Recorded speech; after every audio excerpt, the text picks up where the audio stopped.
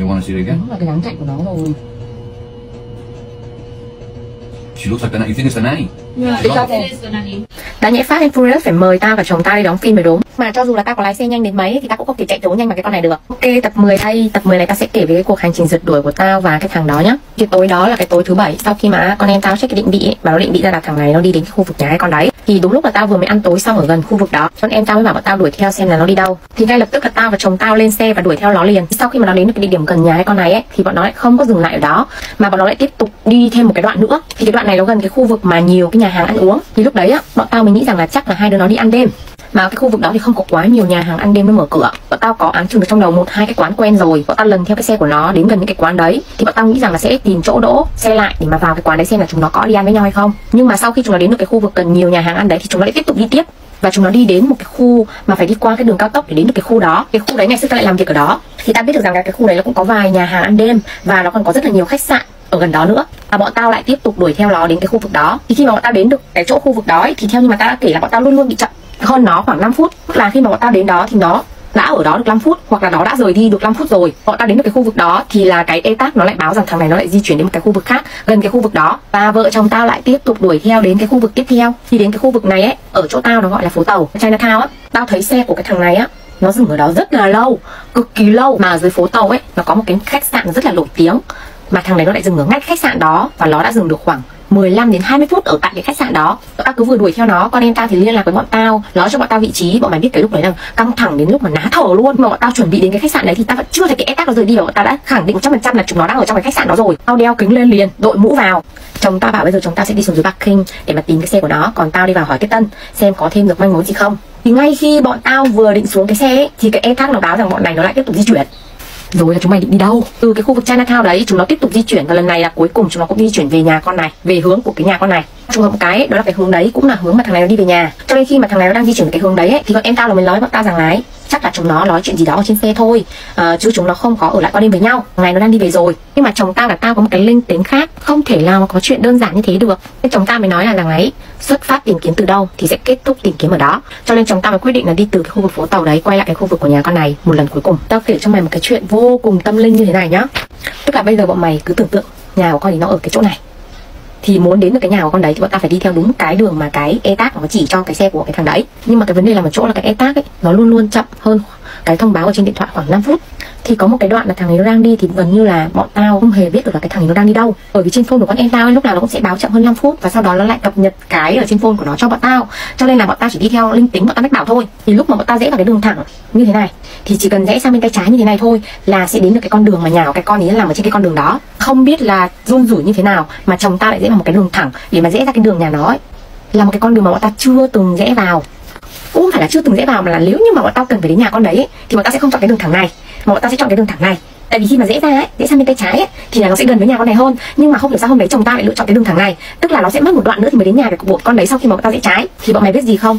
Ngay khi bọn tao vừa mới dễ trái xe của thằng em tao đậu ngay ở đường tao và chồng tao nhìn thấy ngay lập tức luôn. Tao thật với bọn mày lúc đấy tao và chồng tao không nghĩ được một cái gì khác cả. Bọn tao cầm điện thoại xuống, quay ngay lập tức, định bắt tại trận ngay lập tức, bất ngờ trong xe không có ai cả. Nhưng mà cái nhà hàng sushi ở ngay cạnh bên cái xe nó vẫn còn để cái biển open. Chồng tao mới bảo tao là vào cái nhà hàng đó xem, thì tao mới đi thẳng vào cái nhà hàng đó. Nhưng mà thực ra là họ đang dọn dẹp và lau dọn rồi, cho nên là không còn khách nào trong đó cả. Và như vậy là chắc chắn 100% anh ấy đang ở cùng với cô ấy rồi. Chứ lúc đấy đã là 11 rưỡi rồi, tại sao anh ấy lại không về nhà để đi ngủ đúng không? Sau đó tao và chồng tao mới lái xe lên thẳng cái nhà con đấy. Đỗ xe ở phía đối diện, bên kia đường, để mà theo dõi cái tòa nhà của con đấy. Lúc đầu á, chồng tao suy nghĩ là như thế này, tức là hai đứa nó đi ăn hoặc là hai đứa nó có một cái chuyện gì đó vô cùng quan trọng cần phải bàn bạc. Nhưng mà chắc chắn là thằng này nó sẽ không có dại dột mà ở lại nhà cái con này. Mà chắc chắn là nó sẽ đi về. Thì khả năng cao ấy là cái thằng này ấy, nếu mà nó đang ở nhà con này ấy, thì nó sẽ ra khỏi cái tòa nhà của con này sớm thôi. Mà nếu như mà chúng nó đi ăn ấy, thì cũng khả năng cao là chúng nó cũng sẽ phải ăn xong sớm và sau đó là chúng nó sẽ đi về nhà con này. Hoặc là con này đi về nhà con này và thằng này đi về nhà thằng này. Cho nên là chồng tao và tao quyết định là chờ đó xem cái tình hình nó như thế nào. Thì tao cũng nói luôn với mức thời gian lúc đấy là khoảng 11 rưỡi. Thì tao và chồng tao chờ đến khoảng một rưỡi. Thì chồng tao chờ ngay cạnh cái xe ô tô của nó. Còn tao thì chờ phía đối diện cái tòa nhà con này sống. Đằng đẵng một tiếng đồng hồ rất là mệt mỏi. Nhưng rồi cuối cùng không thu được kết quả gì. Nên tao và chồng tao mới kết luận là như này. Thằng này, lúc mà bọn tao nhìn thấy cái xe của nó đỗ ở chỗ đấy nó đã ở trong nhà con này rồi. Không có chuyện đi ăn hay là bàn bạc một cái chuyện gì đó quan trọng gì hết á chắc chắn là ở trong nhà con này rồi. Cho nên tao và chúng tao là quyết định đi về. Sau khi mà đã chụp lại hết tất cả bằng chứng, biển số xe, tao quyết định là đi về. Khi mà tao về đến nhà thì bọn tao cũng không thể ngủ nổi. Lúc đấy là khoảng 2 giờ hơn. Cả nhà tao không muốn ai ngủ cả ngồi đó nói chuyện. Tao có cho con em tao xem cái đoạn video mà tao quay lại với cả những cái ảnh mà tao chụp lại cái xe của nó đang đậu trên cái con đường đó. Ở gần nhà cái con nhỏ này ấy, thì bọn tao mới phát hiện ra một chi tiết vô cùng vô cùng bất ngờ. Đó là vào cái ngày mà con em tao nó xuống kiểm tra cái xe ấy, và nó không thấy cái ly nước và nó thấy cái mùi nước hoa ở cái ghế bên cạnh ấy thì nó có chụp lại một tấm ảnh của cái xe đó. Và đại khái tấm ảnh đó là như thế này. Thì bọn mày có thể nhìn thấy ở cái ghế phụ nó có một cái mũ của thằng con trai của nó đúng không? Và thật là bất ngờ luôn. Trong cái video và cái ảnh mà tao chụp cái xe của nó ấy cũng có chiếc mũ của thằng con trai của con em tao. Vậy là chắc chắn nó không chở ai rồi. Bởi vì nếu mà nó chở ai thì cái mũ không thể còn nguyên ở trên ghế như vậy Mà lại còn nguyên trong mấy ngày như vậy. Đó cả nhà tao mới ngồi xuống nói chuyện với nhau và suy luận ra rằng là ấy, Có khả năng là ấy, thằng này nó không hề chở con này đi lòng vòng lòng vòng lãi giờ. Mà ấy, nhiều khả năng là thằng này nó đi một mình. Nó muốn đi kiếm một chỗ nào đấy để uống rượu Hoặc là ăn uống Hoặc là ăn đêm Hoặc là nó muốn kiếm một chỗ nào đấy để nó nghỉ lại Ví dụ như là khách sạn chẳng hạn đấy. Đó chính là lý do mà nó dừng lại ở cái khách sạn ở chỗ phố tàu rất là lâu. Có thể là nó đã định vào trong đấy Bởi vì khả năng cao ấy là thằng này nó không muốn về nhà. Sau khi mà nó nghe cái tin từ chồng tao rằng là ấy, bọn tao đã chuyển hết đồ đạc của vợ con nó qua nhà tao Thì bọn mày có hiểu cái cảm giác của cái thằng chồng con em tao lúc đó không? Đó là cái cảm giác rằng là ấy, mình đang làm cái gì đây? Liệu mình có đang làm đúng hay không? Và tao chắc chắn rằng ấy, thằng này ấy, trong tâm của nó ấy, nó đang rất là rối loạn. Lửa thì nó cảm thấy rất là có lỗi với vợ con của nó bởi vì nó làm sai. Và một nửa ấy, là nó cảm giác là nó rất là muốn quay trở lại cái cuộc sống độc thân của nó nhưng mà nó không biết là nó đang làm đúng hay nó đang làm sai. Tức là ấy, không muốn về nhà bởi vì cái đầu óc của nó nó đang rất là rối ren. Nhưng mà sau đó tại sao nó lại chuyển hướng đi đến nhà của cái con nhỏ này? Thay vì đi về nhà hay là ở lại khách sạn? Nhưng cái khúc đó là bọn tao không đoán được. Có thể là ấy, tuy là mình rất là rối ren nhưng mà mình đã quyết định chọn con bố cho nó vui. Đỡ phải suy nghĩ nhiều làm gì cho mệt mỏi. Thiết ra ở cạnh cái tình yêu mới chớm lở của mình thì mình cũng có thể quên đi được sự cảm thấy có lỗi với cả vợ con của mình đúng không? Thì khả năng cao là như vậy và bọn tao nghĩ rằng là cái trường hợp mà bọn tao đoán ấy nó là một trăm phần trăm chính xác. Và bọn mày biết gì không? Sau này ấy, khi mà cái việc này nó được công khai hết rồi ấy, thì bọn tao có nhận được cái nguồn tin mật báo từ một cái người này. Và cái người này tao tạm gọi là B B bói cái nguồn tin từ cái người này ấy, nó thực sự rất là đáng tin cậy. Vì khi mà bọn tao kiểm chứng từng cái lời nói của cái người B này ấy, thì bọn tao thấy rằng là 99% là đều là đúng sự thật. Thì cái người tên B này ấy, người ta cung cấp cho tao một thông tin vô cùng quan trọng vào cái ngày thứ bảy đó. Đó là cái con này ấy trong cái quá trình mà thằng chồng của con em tao ấy, nó đi trên đường, nó mông lung, nó không biết đi đâu, phương hướng và không biết đi về đâu. Cái con này á, nó đã nhắn tin với cả thằng chồng của con em tao, nói với cả thằng này ấy, anh qua chỗ em đi thì thằng này lúc đầu là nó không có muốn nó chỉ muốn đến khách sạn để nó không phải về nhà mà không thấy vợ con của nó. Nhưng mà cuối cùng là con này nó cũng dụ được thằng này qua chỗ của nó. Phải biết tin sốc là gì không? Đó là thằng này không hề đến nhà của con này. Bây giờ tao nói dễ hiểu cho mày hình dung ra nhé đó là cái tòa nhà mà mà cái con này nó sống ấy nó có khoảng mười mấy tầng. Nó là cái chung cư cao tầng. Thì đại khái là con này nó có một nhóm bạn nó ở chung cùng một cái tòa chung cư đó. Nhưng mà khác phòng thôi. Đó lại ngày xưa nhá con này nó từng nói với ta rằng là ấy, nó mua lên trên cái khu vực đó nó ở là bởi vì ấy nó có rất là nhiều bạn sống ở cái tòa chung cư đó. Và tối ngày hôm đó con này nó dụ thằng chồng của con em tao ấy, đến nhà của một trong số những đứa bạn của nó, chứ không phải nhà của nó. Và cái ngôi nhà này ấy, nó có hai người bạn của nó. Một người tên là H và một người tên là A. Thì một căn phòng, một thằng đàn ông và ba đứa con gái làm gì ở đó thì ai cũng sẽ thắc mắc đúng không? Nhưng mà thôi chúng ta lên suy nghĩ đơn giản thôi đó là thực sự là không có chuyện gì cả. Chỉ đơn giản là con này ấy nó muốn ra mắt người yêu của nó cho hai người bạn của nó. Nó giới thiệu với cả hai người bạn của nó rằng là ấy, đây là người yêu của nó. Và cái người yêu này ấy là nó được em gái tao và chồng của em gái tao giới thiệu cho nó. Quá xuất sắc.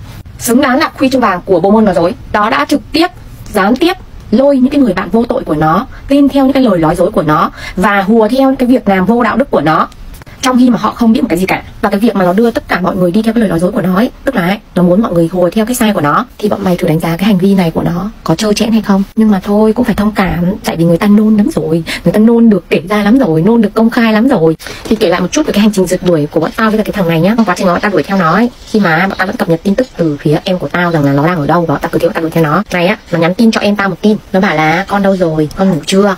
Mai có thể cho anh đưa con và em đi ăn sáng được hay không? Thì sau khi bọn em đang nhận được tin nhắn như thế thì nó mới kể với bọn tao. Bọn tao bảo với nó, nhắn lại như thế này, nhắn lại đấy. Anh có muốn facetime với con hay không? Con chưa ngủ đâu thì cái thằng này nó không trả lời. Thì quay trở lại cái cuộc nói chuyện của bọn tao sau khi mà tao về nhà thì lúc đó bọn tao chỉ nói chuyện với con em tao theo kiểu như là động viên nó an ủi nó nói những cái điều tích cực. Em bây giờ là lên làm thế nào suy nghĩ ra làm sao? Rồi khuyên con em nhà tao thôi bây giờ phải cố gắng bước tiếp. Thì con em nhà tao ấy khoảng thời gian đó ấy, nó sẽ rất là khó chấp nhận cái sự thật. Đương nhiên ấy với cái tính cách của một người phụ nữ như vậy biết thêm một cái thông tin gì là sẽ phải muốn đi tìm hiểu cái thông tin đấy bằng mọi giá con em tao á bốn rưỡi nó mới lên xe với cả em trai tao. Quay lại cái khu vực nhà của con này để mà canh tiếp hai đứa nó, canh đằng đẵng đằng đẵng, từ 4 rưỡi sáng cho đến tận 9 rưỡi sáng. Thì cuối cùng, sau 5 tiếng chờ đợi mệt mỏi, như dự đoán thì một bóng dáng đi ra khỏi cái tòa chung cư đó. Chúng mình cùng xem phần sau nha. Nhớ follow tao nha các mày.